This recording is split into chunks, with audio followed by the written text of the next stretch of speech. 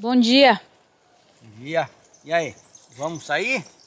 Vamos, estamos se enrolando aqui, que tá meio friozinho, mas já tá esquentando, né? Então, a gente meio que tá preparado para uma região quente, né? Mas a gente sabia que o começo ia ser frio. E realmente, bastante frio. Uma das coisas que a gente tinha como técnica, se tivesse muito, muito frio, é justamente, ó, esse saco aqui, você põe o saco de dormir aqui dentro. Você fecha aqui com um cinto, ele fica tudo aqui, ó. Como se fosse uma blusa de pluma, que nem né, nosso saco de dormir é de pluma. E o nosso saco de dormir é pequeno. Então essa noite eu estava meio tenso ainda, eu não sabia se eu ia esquentar, se ia fazer frio demais. Pelo que a gente viu, deu mais ou menos dentro da barraca, foi uns 12 por aí. E eu dormi bem, até comecei a tirar a blusa. Você também tirou as blusas, né, Rafa? Tirei. O meu saco de dormir, ele é pra... ele é mais forte, né? É, o ele é seu... é melhor. Os é... dois são perto de zero, mas o da Rafa tem melhor qualidade, ele é sarcófago, assim, né? O meu é meio que um cobertorzinho fechado. Agora, esse lugar saiu muito bonito, muito gostoso, tranquilo de tudo.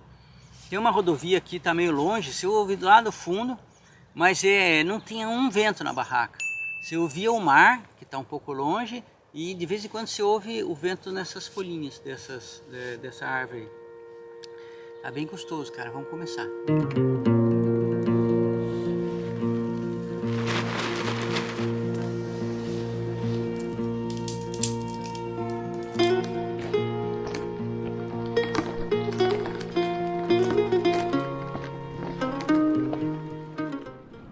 Pedalando em direção à cidade, voltando pelo mesmo caminho aqui da Bahia, né? E hoje a gente deve pedalar uns 60 quilômetros mais ou menos. A gente vai passar numa cidade maior para comprar comida para o dia, né? E vamos ver aonde que a gente consegue acampar hoje. O cicloturismo tem uma lei engraçada. Para onde você for, o vento vai estar contra. Não interessa, pode ser até o mesmo caminho. A gente veio ontem com vento contra e agora vamos subir isso aqui com vento contra de novo.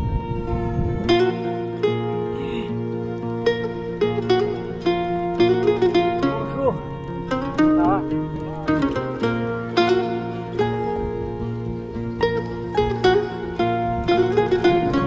De uma hora para outra a gente entrou nessa região aqui. Acabou de sair do mar, cara.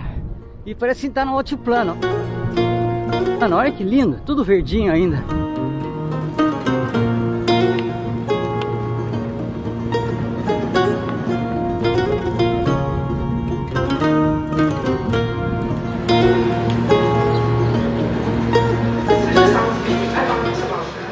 Salsa raiz. Raiz é meio quente. Acho que ele é berinjela. Com mais? Salame e aquela linguiça lá. Que o ovo é a melhor coisa que tem nesse negócio, a única coisa que é totalmente saudável, o resto... Como se appelle ça? Mileui double. Mile, mileui. Mileui double. Mileui double. O teu mileui double, o que que tem? Vem com... É... Ah, ah. Bom, bom, O meu é para ser, ela falou salame, mas é, parece uma mortadela, né? É. E queijo. Aí tem a Rarícia, que é um molho picante, e um outro molhinho verde aqui, que eu acho que é picante também. Eu achei muito bom. Ah, agora vendo os ingredientes, eu só trocaria o salame pelo ovo só por ser mais saudável. Não tá ruim, entendeu? Uhum. Mas o salame é um tipo de mortadela, é bem industrializado, assim. Certo. Acho que o ovo seria melhor nesse mais sentido. Mais natural, só isso. É, né? mais natural, mas tá gostoso. Tá gostoso e o preço é, é muito caro? Eu acho que vai dar uns dois dinar, dois ou três dinar. É que ela foi falando, né? Uhum. Mas vai dar, os dois lanches vai dar com certeza menos de 10 reais. Vê se pode. Ela me deu esse pãozinho que ela falou que é o chapate, que é feito com fermento, pra gente experimentar. E é bom demais, tá quentinho, ela acabou de assar. Que gracinha, é? Hum. Bom? Não vai ter jeito de ficar sem trigo aqui nessa terra, não.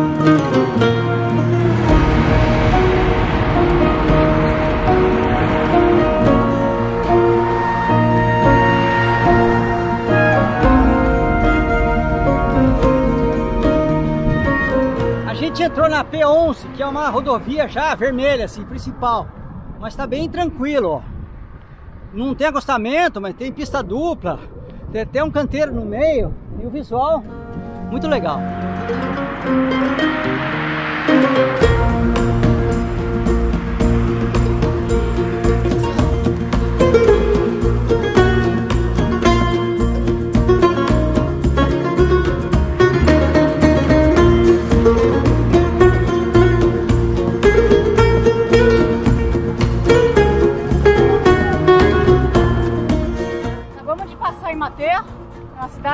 grandinha até, já fizemos uma compra para nossa janta, café da manhã de amanhã.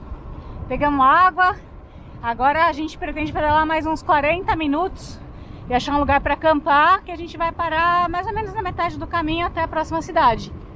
Acho que vai dar tudo certo. Vamos ver o que, que a gente consegue hoje pra gente dormir.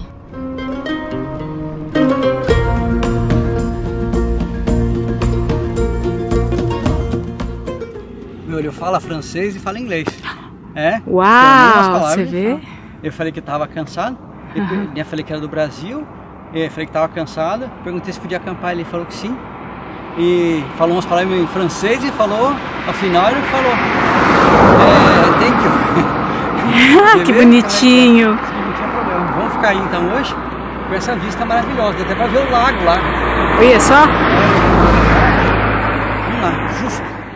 Pedalou forte hoje, deu uns 55 quilômetros e já estava quase na hora de parar, a gente achou um lugar mais ou menos bom assim, mas decidiu continuar e foi ficando, putz, será que vamos achar? Estamos cansados. Aí achamos aquele pastor, pedimos para ele e olha o lugar que a gente conseguiu para ficar hoje.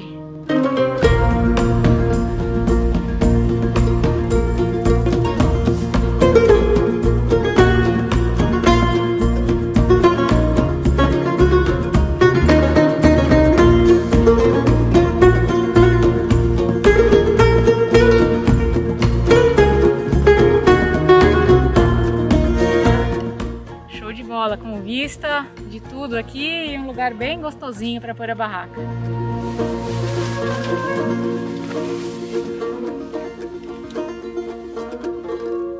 Você que está com a gente aqui nessa história dessa viagem, não esquece de deixar a sua curtida, de se inscrever no canal para ficar com a gente nos próximos dias dessa viagem. E muito obrigado a todos os apoiadores e membros do canal, porque é graças a vocês que esse vídeo chega de forma gratuita para todo mundo. Thank you.